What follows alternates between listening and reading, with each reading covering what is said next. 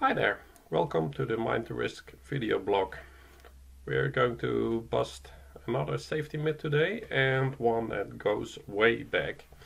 But first, you may recall my last video where I talked about causes as constructs. And I showed this uh, diagram that pictured uh, the relative impact of causes as pretended by that uh, research and uh, it showed something like 60% uh, uh, human contribution behavior, 20% rules and about 20% technical. And I'd like to take you back where all this came from. The belief that most accidents are caused by humans, human error, behavior, not rule following, etc. It's quite deep and it goes way back. We find it even in sayings like humans are the weakest link or to err is human.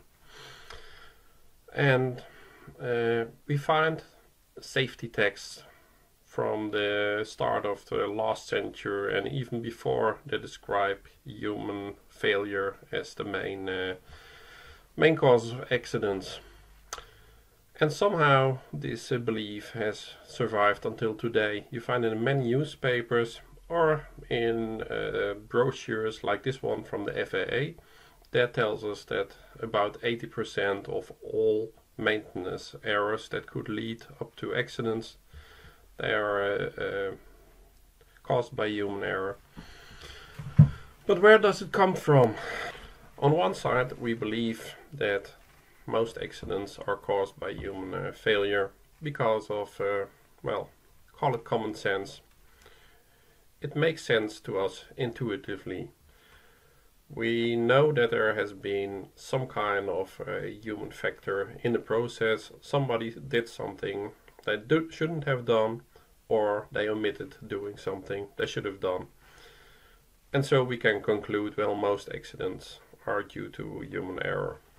Then there is also uh, so-called research that seems to back up this intuition. And I showed you one of those in the graph last time. And uh, today we will look at some uh, much more famous uh, research done by Herbert William Heinrich and his team, which he published in some papers in the late 20s. And his most famous version uh, appears in his 1941 book, which I have here. And there he shows that according to them, based on several tens of thousands of accidents that I reviewed, that 2% of all accidents uh, were not preventable. We tend to call them uh, caused by acts of God. Uh, then there are 88% of accidents are caused by man failure in all its variation. He lists, for example, uh, making safety devices inoperative or taking an unsafe position, etc. And the remaining 10% he uh, lists as technical failure, mechanical or physical conditions to be precise. And that's his uh, conclusion, and it's quoted until today 88% of all accidents are caused by human failure. But there are some problems with this. Let's look at them.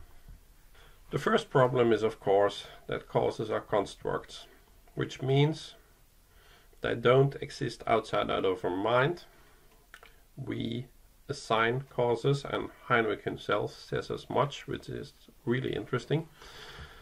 And um, we cannot and we should not count them because uh, you define them slightly differently and you get other results. So uh, I, I, won't dwell on it on this, but it's really essential. Causes, you can't count them. It doesn't give meaning. The second problem with Heinrich's research is that the data he used was biased. A large part of the cases he and his team reviewed came from insurance claim files and insurance data is uh, or the, the files the cases that are filed they're probably not uh, neutral.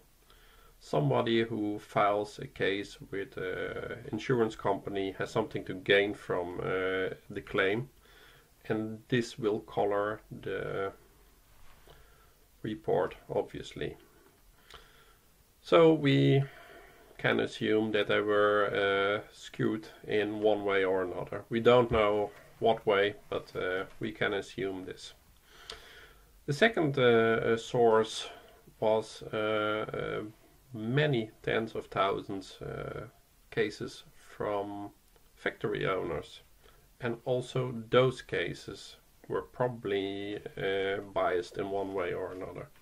Because well people weren't trained to do so to do investigation and well the results were probably not uh, living up to uh, standards that we would apply to them the third problem with Heinrich's research is, and he, he does actually describe this, that he only is, allows one cause per case.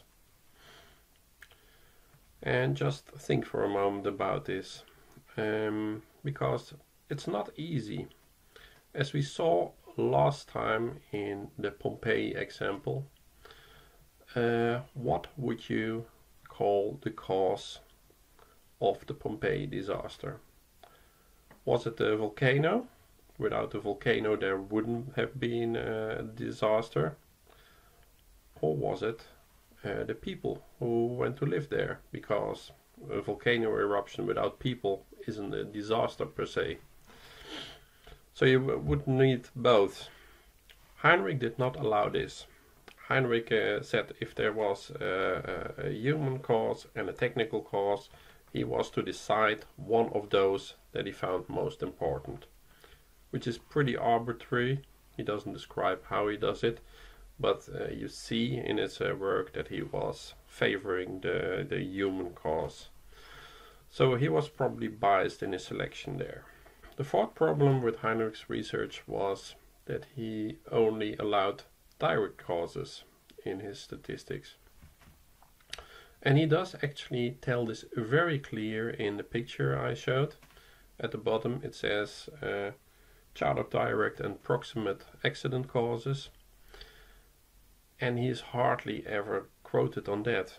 People just say 88% are caused by human failure, while Heinrich actually said 88% have direct causes that are man failure. And that makes that makes sense because there is often a human factor involved just before the accident. The thing is, of course, what good does that do knowing that?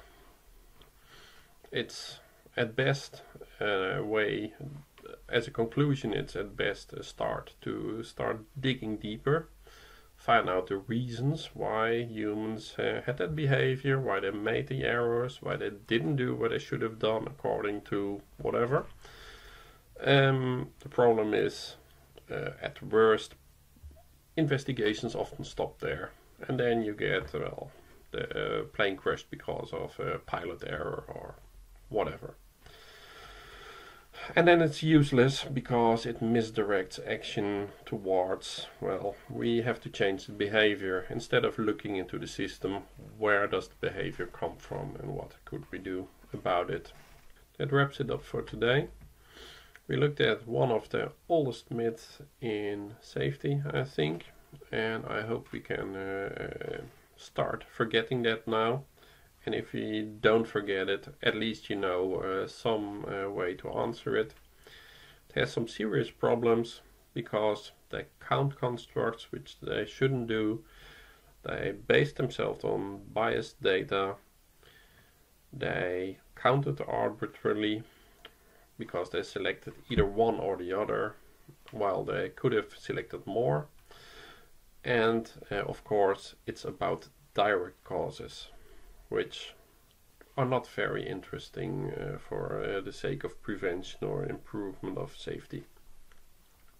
So whenever somebody quotes you uh, Heinrich or similar research, you can count them now.